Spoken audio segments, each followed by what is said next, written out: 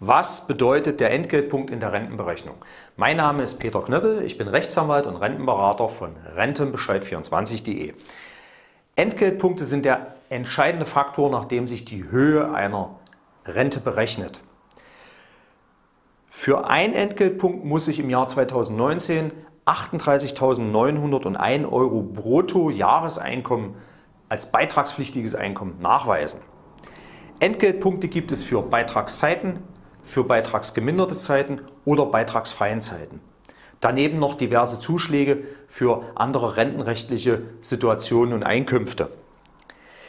Damit hängt die Höhe der Rente maßgeblich von der rechtlichen Bewertung der Entgeltpunkte ab, denn nicht nur, die, nicht nur das Arbeitseinkommen zählt für die Bewertung der Entgeltpunkte.